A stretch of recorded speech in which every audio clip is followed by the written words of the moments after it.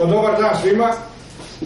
Hvala na ovakvom odazivu. Očigledno da je tema koja je postavljena kao tema konferencije za novinare e, zanimljiva.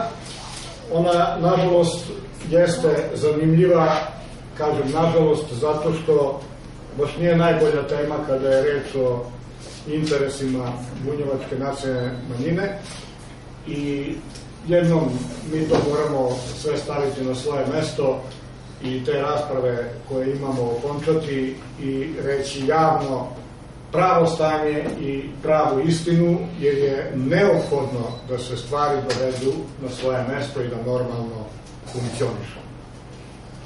Ovu konferenciju ja sam sazvao lično, dakle, govorim u svoje ime kao Mirko Bajić, ali kao predsednik izvršnog odbora Bunjevačke nacionalne manjine, Nacionalnog saveta Bunjevačke nacionalne manjine i kao predsednik Saveza Bačkih Bunjevaca, jer se uvek to ove, u napadima na mene, ove, da kažem, povezuje.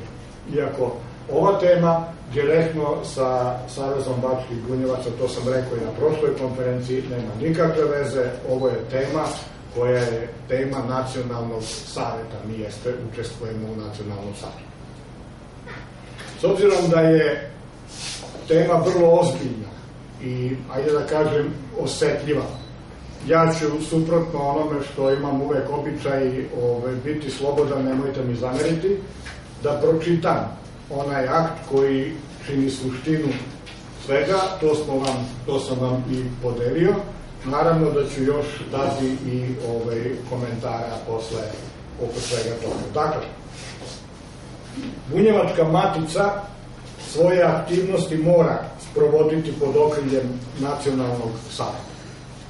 Nacionalni savet jeste organ samouprave nacionalne manjine u oblastima obrazovanja, kulture, informisanja i jezika, u skladu sa svojim obavezama i ovlašćenjima, Nacionalni savet doneo je strategiju razvoja u ovim oblastima i ona je obavezujuća za sve subjekte u okviru nacionalne zajednice, pa i za Bunjevačku maticu. Rukovodstvo Bunjevačke matice već duže vreme odstupa od ovih pravila i sprovodi aktivnosti za koje nema saglasnost Nacionalnog saveta i koje su suprotne interesima Bunjevačke nacionalne zajednice. Bunjevačka matica prikazuje se kao samostalna organizacija paralelna Nacionalnom savetu, umesto da deluje pod okriljem Nacionalnog saveta. Više puta ukazivano je rukovodstvu Bunjevačke matice na neprihvatljivost takvog delovanja, a na poslednjoj sednici Nacionalnog saveta utvrđeni su i stavovi koji su prosleđeni Skupštini Bunjevačke matice i u kojima se zahteva usklađivanje ovih odnosa. Netačne su tvrdnje Ivana Sedlaka, predsednika Udruženja građana Bunjevačke matice, da Nacionalni savet želi preuzeti imovinu i prostor Bunjevačke matice i da se iz tog razloga na ovu ustanovu vrši pritisak Istina je upravo suprotna. Bunjevačka matica je reosnovana u vreme SR Jugoslavije kao društvena organizacija i upisana u registar nadležnog ministarstva koje je bilo 1995. godine. Tada nisu još postojali nacionalni savjeti. Nacionalni savjeti kao organi samouprave nacionalnih manjina utvrđeni su zakonom o nacionalnim savjetima u Republici Srbiji, a Nacionalni savjet Bunjevačke nacionalne manjine osnovan je 2003. godine. Odmah po osnivanju preduzete su aktivnosti da se uredi i opremi prostor koji je do tada koristila Bunjevačka matica i da se u tom prostoru trajno reši rad Nacionalnog saveta i Bunjevačke matice koja bi dalje delovala pod okriljem Nacionalnog saveta. Zahvaljujući aktivnostima Nacionalnog saveta, sredstva za uređenje prostora i opremanje su ostvarena i sačinjen je i pismeni akt kojim se garantuje da će sredstva biti namenski korišćena i da će nakon uređenja i opremanja taj prostor koristiti Nacionalni savet i Bunjevačka matica, tada još uvek registrovana kao društvena organizacija u Ministarstvu Republike Srbije. Ivan Sedlak je preuzeo rukovodjenje Bunjevačkom maticom nakon završetka radova i umesto da sprovede potpisani akt, Bunjevačku maticu je promenom statuta preregistrovao u obično udruženje građana, čiji je on jedini zastupnik i pri tome se proglasio vlasnikom celokupne imovine koju je ranijem postojanju stekla Bunjevačka matica i prostora koji je zahvaljujući Nacionalnom savetu uređen sredstvima ministarstva u iznosu od preko 150.000 eura. Uporedo sa ovim činom, preregistracije Bunjevačke matice, otpočeli su napadi na Nacionalni savet, koji su rezultirali raspuštanjem Nacionalnog saveta u dva mandata, a sve uz aktivnu ulogu Ivana Sedlaka. Osporavanje Nacionalnog saveta i napadi na savet traju i danas. Ivan Sedlak ne samo da je na taj način bukvalno oteo Bunjevačku maticu od Bunjevaca i pretvorio je u svoje privatno udruženje građana, nego je neskrivenost provodi aktivnosti kojima Bunjevačku maticu uvodi pod okrilje onih likova koje Bunjevce smatraju Hrvatima, a nestručnim i neodgovornim rukovodjenjem dovodi maticu u funkcionalni i finansijski kolaps, pri čemu svojom retorikom svesno manipuliše ljudima javnošću. Nacionalni savjet ima jasan stav. Bunjevačka matica se mora vratiti pod okrilje nacionalnog saveta i Ivan Sedlak ne može više rukovoditi ovom organizacijom. Ovo sam potpisao ja, ali sam ga, ovo sam potpisao kao akt koji sledi iz onoga što je odluka Nacionalnog saveta. Tu odluku svi ste videli, odluka je objavljena, o tome je dato i saopštenje, dakle nije nepoznata stvar. Ja ću sada malo da dam sebi slobode da komentarišem ovo dodatno. Naime, pojavljuje se u medijima, čujemo svaki dan kako sadašnji predsednik Udruženja građana Bunjevačka matica napada nacionalni savet koji je po njegovoj retorici paradržavna ustanova koja samo što nije nestala, još malo pa će nestati, a Bunjevačka matica je bila, sad je i biće i predstavljaće jer i Bunjevce za sva vremena. To je otprilike malo parafrazirano ono što zastupa u svojim izlaganjima i na sebe. Pri tome, ne mogu upotrebiti reč laže, jer neću tako da govorim, manipuliše javnošću time da savetom rukovodi Mirko Bajić, da je to sve od Mirka, da to sad ne znam šta, ove, istina, vi znate koja je, ove, Savez Bački Bunjevaca je legitimno išao na izbore, vrlo jasno, precizno, ima šest mandata od 19 u nacionalnom savetu. Odluke koje je nacionalni savet doneo u ovom pogledu su dvotrećinske od ukupnog sastava nacionalnog saveta. Dakle, na samoj sednici od 14 prisutnih 13 je bilo za, niko protiv, protiv nije bio čak ni Marko Marjanušić koji je iz Bunjevačke matice u Savetu, koji je tada nama rekao, pa eto došao sam da budem protiv, vidim šta je, ne mogu biti protiv, bit ću uzdržan. Možete vidjeti sve na snimku koji je kod nas javno objavljen. Svi, sve sednice Nacionalnog saveta snimaju se i objavljuju od reči do reči na sajtu, to svako može da vidi. Pa tu može da vidi i to da ja na toj sednici sam prezentovao predlog izvršnog odbora, jer to je obaveza izvršnog odbora, a da nisam ni diskutovao, da su diskutovali mnogi drugi ljudi, pa nek Sedlak čuje šta su rekli ti drugi ljudi koji su uglavnom i osnivači Bunjevačke matice iz vremena 95. godine. Ja ću malo da povežem činjenice, mnogi od vas to i pamte, sigurno. Nacionalni savjet Bunjevaca je jedan od redkih koji je formiran 2003. godine na jedinstveni način. Mi smo imali jednu listu, svi zajedno i izabrali nacionalni savjet. Taj nacionalni savjet, ja sam bio njegov član u tom periodu, funkcionisao je na najbolji mogući način sve do 2008. godine. Možete pogledati u arhivi i jedna svaka odluka je doneta jednoglasno na nacionalnim savjetima do tog vremena. Šta se dogodilo?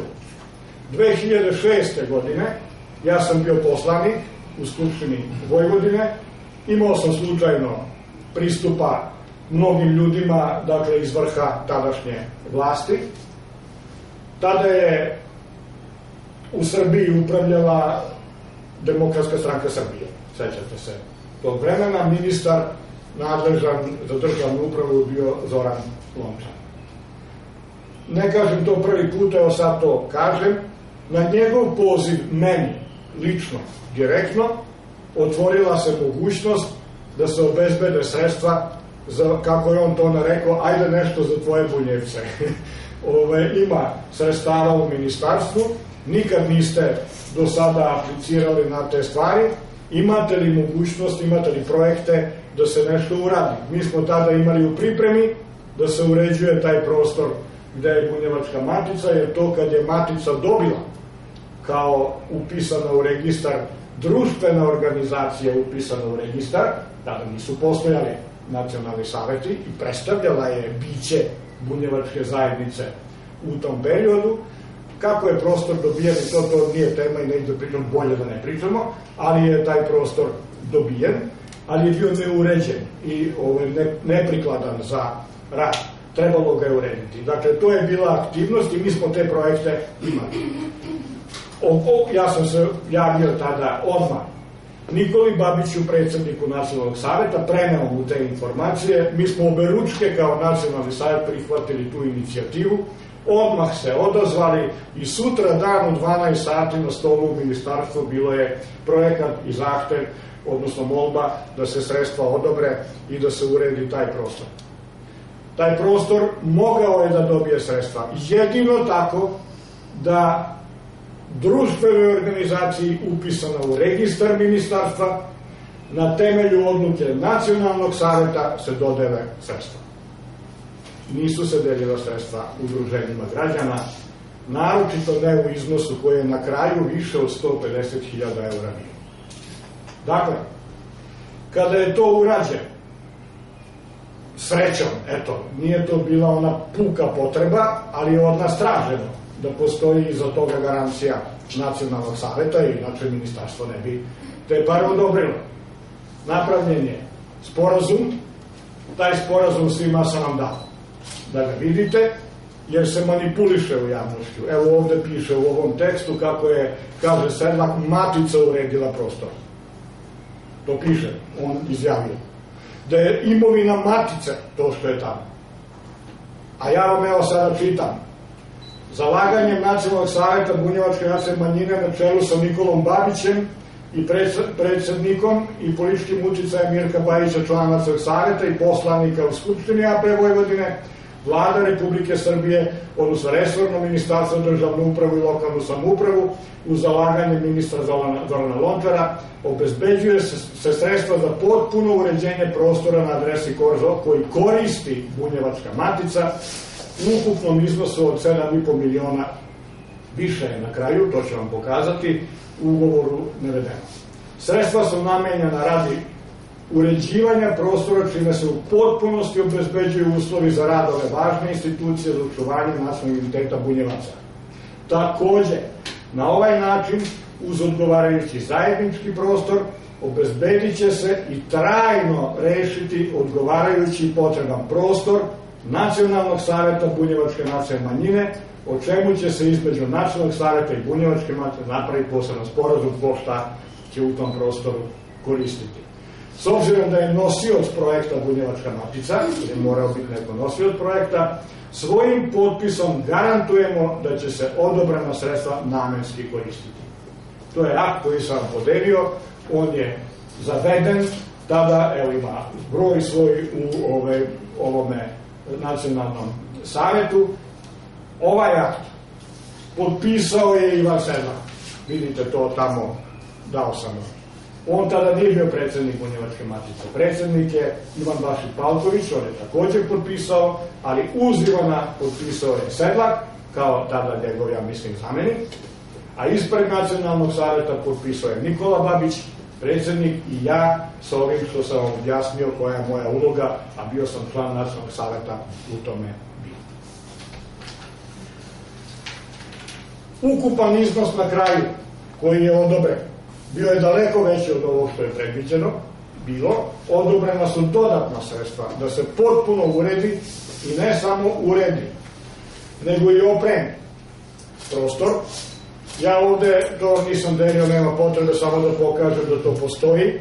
To je izveštaj koji je tada predsednik Matice Bašić morao da podnese ministarstvu, gdje se traženo kako se sredstva koriste u tom izveštaju, da ga ne čitam celog, jasno je rečeno, ukupan iznos koji je odobren 8 miliona 193 hiljade i objašnjeno je kako je taj, kako su ta sredstva korišćena i piše da su sredstva iskorišćena za uređenje prostora, za nabavku opreme, uređaja i nameštaja unutar tog prostora. To je dato kao izveštaj. Dakle, sve to tamo što postoji, neću da govorim o onim umetničkim delima, to je posebna priča. Govorim sada o opremi, o uređajima o, o, i o uređenju. Urađeno je sredstvima ministarstva, a na temelju odluke i stavova Nacionalnog saveta, a sa namerom da u tom prostoru u budućnosti, dakle kad se završi radi Nacionalni savet i Bunjevačka matica za oba ta subjekta tamo prostora ima dovoljno, potpuno normalno da se radi i bez ikakvih problema. Mala digresija, komentar, sad tamo tri penzionera trče u krug, u ne znam koliko kvadrata, stotina ove, ove, u tom prostoru, ove, to je sramota. Mislim da to je nešto što mi jednostavno dozvoliti u svemu tome nećemo. Zašto se do sada nije reagovalo? E sad moram i to da objasnim. Tada kada je to urađeno, završeno je 2008. godine, to postoje podaci. Dakle, otvaranje matica u Novom Ruhu, to je bilo april 2008. godine. Sve na lepo, odlično, bili smo svi presrećni. Šta se događa tada? Paralelno sa tim, odmah posle otvaranja matice počeli su napadi na nacionalni savjet. Ko je bio član, taj se seća, vidimo ovde neki koji su bili, ja sam bio i sećam se. Prvi put došlo se do toga da nismo mogli donositi odluke, da smo raspravljali o tome, teza je bila promovisana od naših pravnika iz saveta, jedan od njih je Sedlak, kako je nelegitiman nacionalni savet, kako mi funkcionišemo, a nismo legitimni da funkcionišemo, jer isteko je mandat 2003. godine na 4 godine 2007. Ove, a država je donela akt kojim je rekla da nacionalni savjeti svih, svih nacionalnih manjina nastavljaju da rade dok se ne donese zakon i naprave novi izbori za nacionalni savjet. Jedino smo mi unutar sebe svaku sednicu nacionalnog savjeta započinjali rečima mi smo nelegitimni, ne može se raditi, evo Kata je tu može da potvrdi. Sad da gledam ove, i to je, se, to je se dešavalo odmah posle ovoga. Jedan od aktera toga bio je Sedlak, nije bio sam. Šta se događa danas? Mi smo nastavili da radimo. Onda je intervencijom žute klape koja se spojila odjednom sa maticom, Izvinite što tako reagujem, ali vi znate moj odnos tada sa novom vlašću demokrata onda, koji su odjednom uplivali u sve to tamo, u taj prostor i u radove, bolje da o tom ne pričam, jer bi mogli zaći duboko u to kako su opšte sredstva korišćena, nije to naša tema.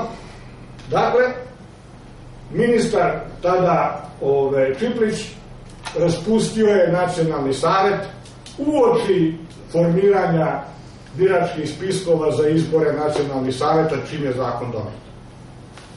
To je bilo 2009. godine u leto. Namera je dakle bila da nacionalni savjet prestane da postoji. Jer je on, kako se to reklo, nelegitiman i to je neka paradržavna ustanova. Uspeli smo da napravimo birački spisak i pored takvih uslova, to svi znate kako je te sve teklo, uspeli smo da napravimo onda izbore za nacionalni savjet, onda smo imali takav period u kojem je bilo da li će ili neće se formirati nacionalni savjet. Pa je nacionalni savjet formiran iako nije završen sudski postupak u izbornoj kampanji. Jedno mesto bilo je upitno, ako se sećate to. Mi smo imali nalog da se formira nacionalni savjet. Formiran je, bili smo veći mangupi od njih i za jedan glas pokojnog bunje, izvinjavam se što mu spominjem ime, koji je bio racionalan i svestan da zna o čemu se radi, mi smo dobili većinu u tom nacionalnom savjetu za jedan taj glas. Nacionalni savjet je formiran, čim je formiran, to je dakle bilo 2010. tamo pred kraj, odmah posle toga, pošto se nije dobila većina na onoj strani u taj nacionalni savjet, izvršena je preregistracija Bunjevačke matice. 2011. godine Bunjevačka matica je preregistrovana u udruženje građana i upisana kao takva u registar u APR-u, a udruženje građana je neprofita, neprofesionalna, amaterska organizacija, a ima odgovorno lice, znate šta je udruženje građana, troje ljudi mogu se skupiti i napraviti udruženje građana, jedini pravni zastupnik, to možete vidjeti na sajtu i sada, u agenciji je Ivan Sedlak. To je urađeno odmah, dakle, pošto se, a napadi na nacionalni savjet nastavljeni su. Ponovo je raspušten nacionalni savjet i u tom novom sazivu. Prvi put događa se sada da je nacionalni savjet konačno ozbiljna, profesionalna, stručna i odgovorna ustanova u skladu sa zakonom i zato neće dozvoliti mešetarima ovakvog tipa da dalje rade to što su do sad radili. Zato mi sada postavljamo to pitanje kao nacionalni savjet, jer se ovo pitanje rešiti mora. Ovo ne može ostati nedorečena stvar, mi se ne svađamo, uvek se prikazuje kako tu Mirko svađa se sa svima, pa on zavađa maticu i savet i ne znam šta radi. To su naravno konstrukcije, da možemo mi protiv toga, matica ima brend po imenu, a rečiti su, to priznajem, ove, tamo na toj strani, a pravnici, bože moj, ministar bivši, jeli, pa veruje se onda onome što takav čovek kaže, a taj čovek manipuliše ljudima i javnošću, proizvodeći to da se mi kao svađamo. I neko ruši maticu, ukida maticu, neće da ona postoji i tako dalje, a ne kaže istinu, istina je na stolu, ovo što sam vam podelio sve možete proveriti i videti, neće više to da se dozvoli dok je nacionalni savjet ovakav kakav je, a jako je dobar, dobro organizovan i zato će se ove stvari dovesti Kako će to biti urađeno? Ja da vam kažem ne znam. Tamo pameti za to da se normalno uradi nema.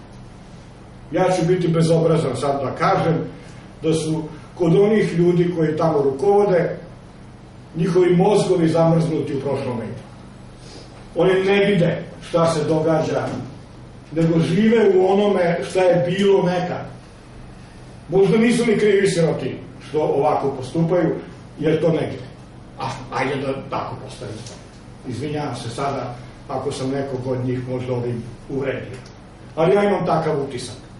Da se prosto ne želi sagledati stanje. Bunjevačka matica, ako ne znate, otiđite pa pitajte sedlaka koliko duguje.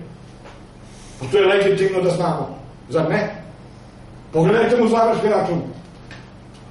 U završnom računu preko 500.000 je neizmirenih obaveza iz prošle godine. Kako može neprofitna amaterska organizacija koja se finansira iz projekata, koja mora pravdati, kako može biti dužna. Aj to vi meni objasnite, ja ne znam. Samo tako, ako nenamenski koristi sredstva koja dobija, po onome gde jedino ima pravo da dobije, a jedino ima pravo da dobije po konkursima sredstva i mora da ih pravda. Da mi sad otvorimo pitanje kako može iz javnih izbora da se plaća udruženju građana dalje, koje ima obaveze neizmirene. Pa na svaki konkurs se mora podneti i ove dokaz da nema neizmerenih obaveze, tako? I sad da ne otvaram dalju tu temu. Takvim rukovodđenjem matica je dovedena u potpuni kolaps. Prodavali su slike da izbire dugove. Napravili su dugove štampajući ovaj čuveni molitvenik. To je tačno. Gde je savjet rekao, ljudi, nemojte to raditi. Ajmo to zajedno uraditi mi. Nacionalni savjet je, odluka o tom postoji, ponudio matici da se radi zajedno molitvenik. Ali da na koricama stoji grb matice i grb nacionalnog saveta. I da nacionalni savjet plati veliki deo troškova oko toga. Ne, neće se nama niko mišati. I onda s kime je to napravljeno? S braćom Hrvatima u velikoj ljubavi.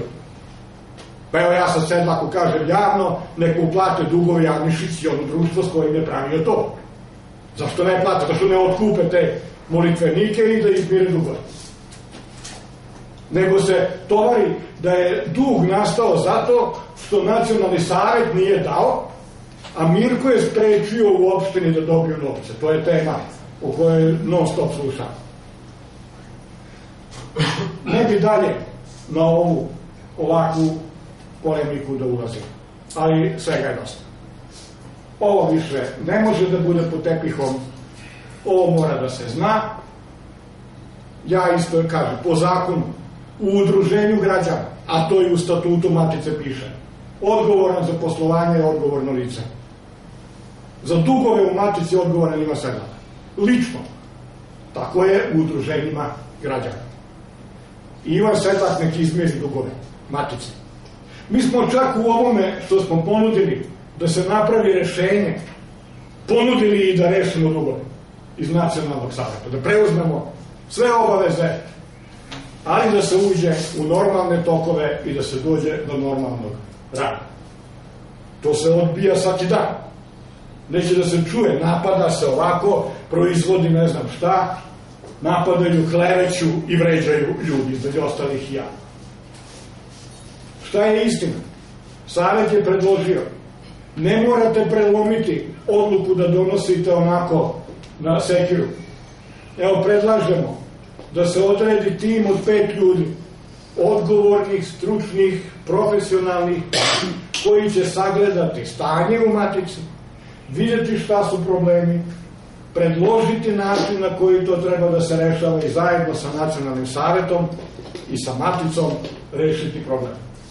Tih pet ljudi su nabrojani odlukom, odnosno predlogom nacionalnog savjeta. Dva podpredsednika Bunjevačke matice, sada, aktuelna, Skenderović Ivan, istaknuti član, jedan od rukovodilaca u Bunjevačkoj matici, aktivan član, Nikola Babić, osnivač Bunjevačke matice, bivši predsednik, sada znam podpredsednik nacionalnog savjeta, Suzana Kojundžić Ostojić, predsednik odbora za književnost u Bunjevačkoj matici i predsednik nacionalnog savjeta.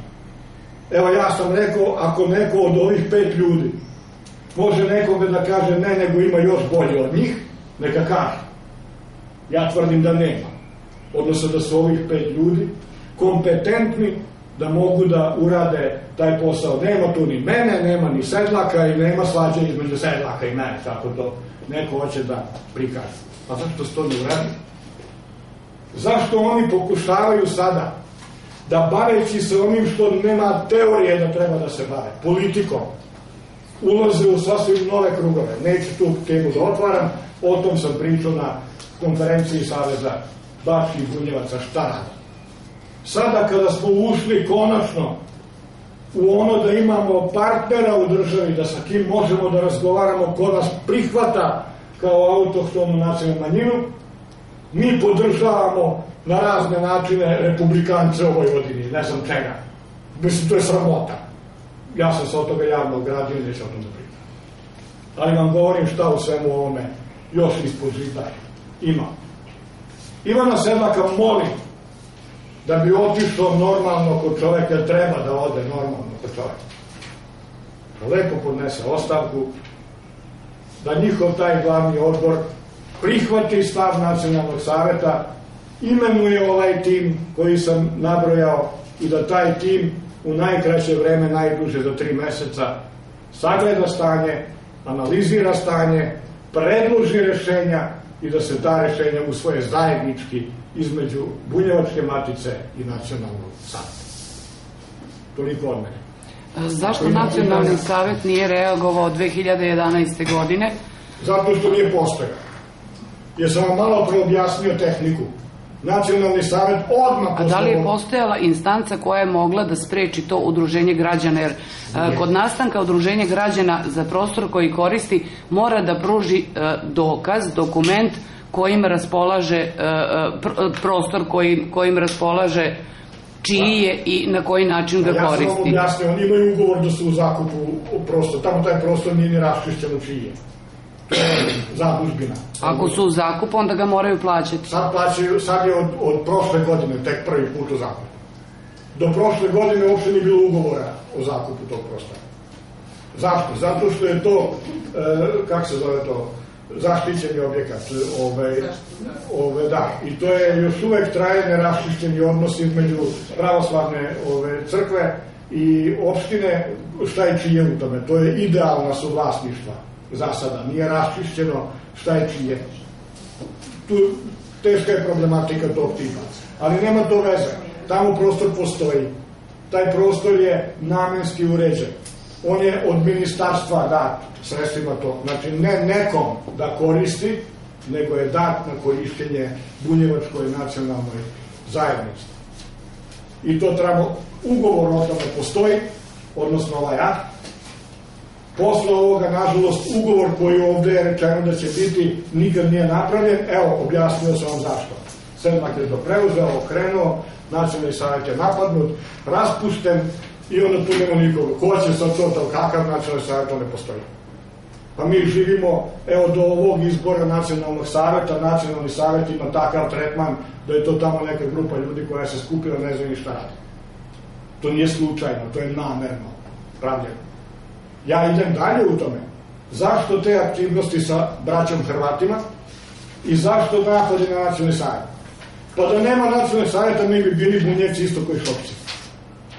Igrali bi, pivali bi, zvali bi se kako hoćemo, a ne bi postojali kao autohtona nacionalna manjina. Pa to je jabo, slušate šta se radi i sad u poglavlju 23 i usporavanje nama tog prava da smo autohtona manjina. Pa šta nam treba? Neko ko će Ivana Antunovića da slavi zajedno sa drugima, a mi pričamo ra, u raspravi o poglavlju 23 da smo autohtona manjina. Mislim, to, je- to ispadamo smešno. To se nama namerno radi.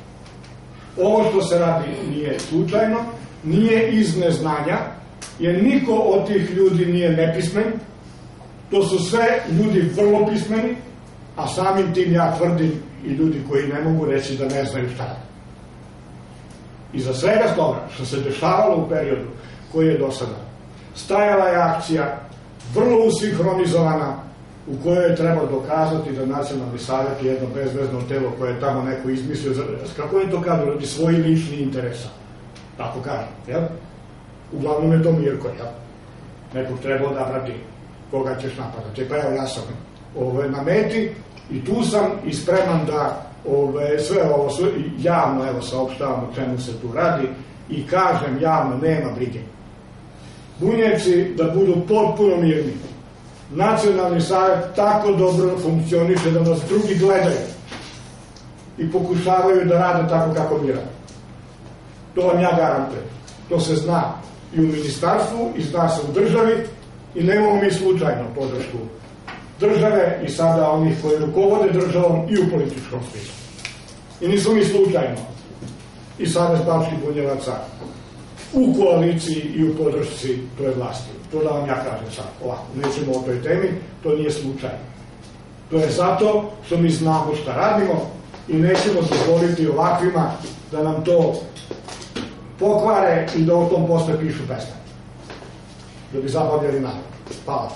Molim vas, pre znam da zaštitim temu, ali kada ste se osnovom Bunjevačka nacionalni savjet 2003. godine, kako ste u svojim dokumentima rešili status Bunjevačke matice? Da li ste vi osnivači Bunjevačke matice, da li, e, kako ste rešili međusobne odnose i ovde se pozivate na činjenicu da će se između Nacionalnog saveta i Bunjevačke matice napraviti sporazum u korišćenju prostora, da li je taj sporazum? Nije, o tome govorim. Znači, taj sporazum, objasnio sam i zašto, ovaj, nikad nije napravljen dalje.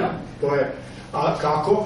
Tako što obaveza nacionalnih saveta koja sledi zakona, a u oblastima koje sam naveo da su naše nade između ostalo kulture, stoji da niko ne može na konkursima koje je udruženje građana dobiti sredstva dok prvo nacionalni savjet ne da mišljenje ove, na te projekte. To piše u zakonu. Šta to znači?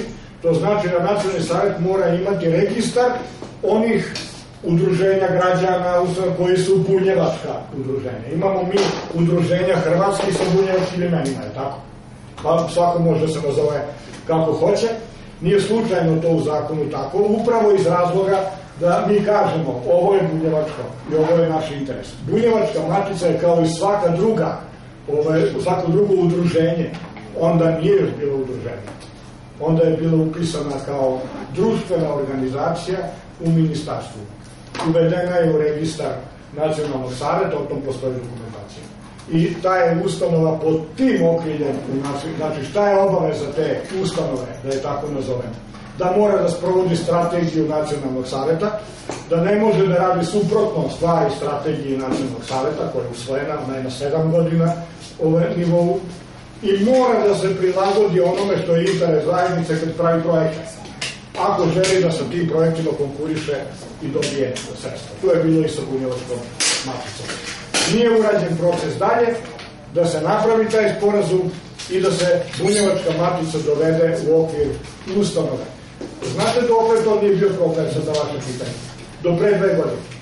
Ovo je druga godina kad je problem. Bunjevačka matica je u ministarstvu sve dotle funkcionisala kao ustanova, dobijali smo sredstva za to.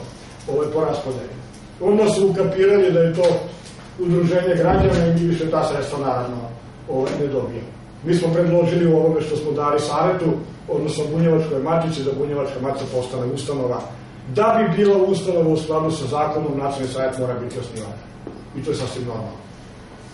Znači da Bunjevačka matica za poslednje dve godine ne dobija novac na konkurs? Ne, ne Bunjevačka, ne dobija savet za Bunjevačku maticu. Znači mi nemamo nikakve prihode zato što postoji Bunjevačka matica. A da li oni mogu da dobije novac nezavisno? Mogu, samo na konkursima za projekte. A na te projekte mi treba da damo saglasnost. I kroz donacije. I kroz donacije. A da li dajete saglasnost? Dajemo za sve one projekte koji su bunjevački, gde oni dobro rade, ima takvih projekata. Evo, bunjevačka lipa Rič, ovo mi tu dajemo saglasnost, dobiju sredstva u meri u kojoj sredstva postoje sad. Nažalost, sredstva su manja i manja, u tom to nije naša stvar, to je stvar onoga ko raspisuje ove konkurse. Ali tu dobi. A nisu dobili saglasnost za molitvenik sa hrvatskim udruženjem. To nisu dobili saglasnost. I rečeno je nemojte to raditi. I to napisno. I u tri sa, te sedam sastanaka sa njima o kojima svi postoje tonski zapisi.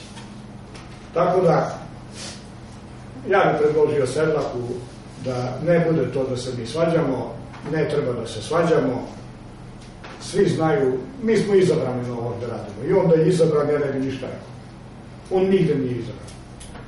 Nikad nije ni išao da bude bilo gde izabran. A ubacivo je druge ljude ispred sebe. I radio i za sebe. Evo, pitajte Tabare od Duje ove, kako se to događa, ja neću da širim tu dalje temu. Ove, kod nas danas su zaposleni dvoje ljudi iz Bunjevačke matice su tamo, neću da upotrebim reč sada koju imam na jeziku, ove, radili, ono dođem ti tva, bit će znaš kad, ne znam kad će. To je neozbiljno. Mi tako ne možemo raditi. Zajednica ne može tako raditi. Zajednica mora znati šta radi. Može postojati udruženje građana, može postojati i njegovo udruženje građana kao samostalno, onda o svom trošku da krabi šta god hoće, to je pravo svakoga da osnuje šta god hoće. Ali ne može onda da se par, kaže ja predstavljam Bunjevce, a nacionalni savjet je paradržavna ustanova kojom tamo Mirko rukovodi. E pa, izvinite. Pa što se tiče samih prostorija, mislite da će Matica ostati pri svom stavu isto kao i nacionalni savjet i sami ste rekli da ne znate koje će se rešenje naći. Ali šta se u takvim situacijama radi? Da li se rešenje traži na sudu ili, Ne. ili ovako? Ne, mi ne možemo rešenja tražiti na sudu, mi nećemo. Mi nemamo pravo da ove, Bunjevačkoj matici bilo šta uradimo u tom smislu da li postoje ili ne postoje, to je upisano u registar kao... Mi možemo da kažemo da ne rade saglasno o pravilima, odnosno strategiji nacionalnog savjeta i da ne damo saglasnosti na konkursima za ono što rade suprotno tome, to mi možemo i to ćemo i uraditi. A ove, ono što ja mislim da ova trenutna sada ekipa koja još tamo postoji, tamo nema ni kvoruma, tamo nema kakva skupština koja nemaju tamo ljudi oko sebe, tamo nema nikom. Utidite, evo, prošetajte jedan dan, uđite u maticu i ako tamo nađete nekog osim jednog ili dva penzionera, ja ću vas častiti. To je tako. Osim u onaj dan kad se pravi večeri utorkom ili ne znam, pa onda pravimo hep haj neku ili slike kačimo na zid i veliki događaj ovaj, koji je evo mačica šta. Pa mislim to je. Ova ekipa koja tamo još ostala oko sedlaka neće ovo prihvatiti da radi, to je moje ubeđenje, nažalost. Ja ne mogu to promeniti, urušit će se to onda do kraja, morat ćemo i to preživeti, napravit ćemo iz početka. Ako to bude takav put. Daj Bože da se tamo ljudi opamete i da prihvate ovo što je ponuđeno kao normalno, racionalno, ozbiljno rešenje, da prvo ekipa od pet ozbiljnih ljudi sedne i napravi analizu, a da na osnovu te analize posle donosimo odluke. To se mi slažem. I ja se s tim slažem. I u tome ne učestvujem. Ali ne može ni sedam da učestvuje. Evo, predložili smo rešenje. Ako je pameti, nisu oni tamo petoro ili dvoje ili troje sami, ima tamo još ljudi koji mogu da razmisle malo glavom pa da kažu kuda ovo ide ovako.